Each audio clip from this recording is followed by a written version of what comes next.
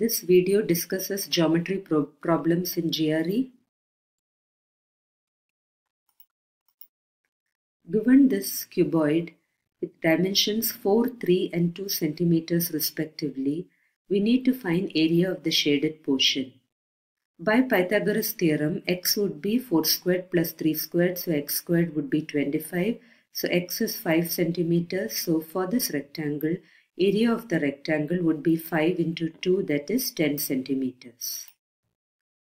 Diameter of the circle is 10 centimeters. We need to compare two quantities A and B, where A is area of the quadrilateral ABCD and B is 40.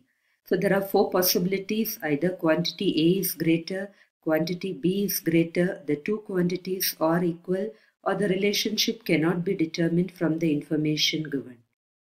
Now, even if AC were the diameter of the circle, to determine the area, we need more than one side of the figure. So, with just knowing that the diameter is 10, it is not possible to determine the area of the quadrilateral ABCD. So, the relationship cannot be determined from the information given. Again, this is a comparison problem. Given x squared y greater than 0 and xy squared less than 0, we need to compare two quantities a and b. Quantity a is x and quantity b is y. Now square of a number cannot be negative. So if x squared y is greater than 0, y has to be positive. So y is a positive number.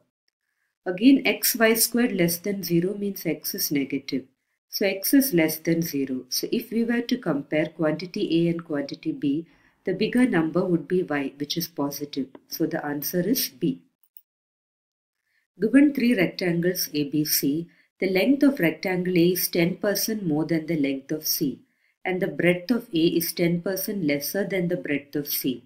The length of rectangle B is 20% more than the length of rectangle C.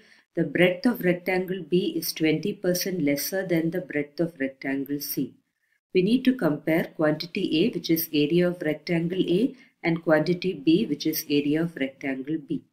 Now length of rectangle A is 10% more than length of C. So if length of C is x, length of A will be 1.1x.